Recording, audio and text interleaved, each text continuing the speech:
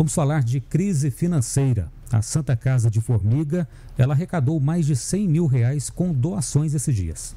O promotor de justiça e curador da Santa de Saúde, Guilherme de Sales Gonçalves, promoveu uma reunião com a gestora executiva da Santa Casa de Formiga, Miriam Araújo Coelho, sobre a decisão da direção do hospital de suspender a admissão de novos pacientes para internações de urgência e emergência.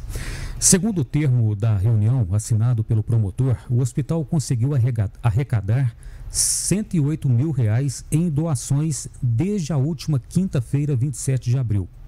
Os valores serão usados para aquisição imediata de insumos e medicamentos. Além disso, a Câmara Municipal de Formiga repassará 300 mil reais para a Santa Casa.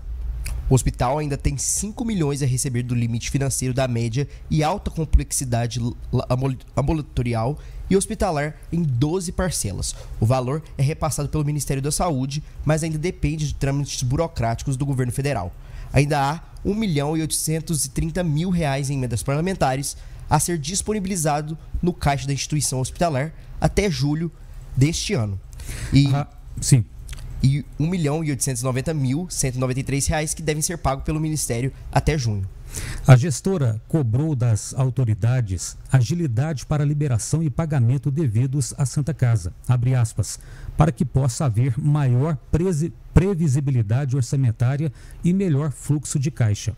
O promotor esclareceu que o hospital não chegou a aplicar a suspensão das internações. Conforme o documento, no dia, no dia do anúncio da suspensão, havia 80 pacientes internados e na sexta-feira 54. Bem, pegando um gancho aqui dessa questão da Santa Casa de Formiga, amanhã a UTI da Santa Casa de Piuí, ela vai ser reaberta para atendimento.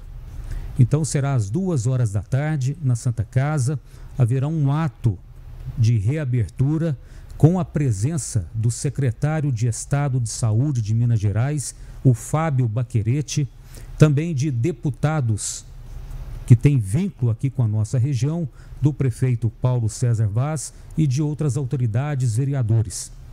É uma boa notícia, esperamos que com a, reabertura né, da UTI, que isso possa continuar sem problemas e voltar aí a possibilidade, ter a possibilidade de voltar a fechar novamente. Esperamos que as autoridades governo do estado, deputados, governo municipal possam se empenhar ainda mais para manter esse importante serviço aqui no Hospital de Piuí.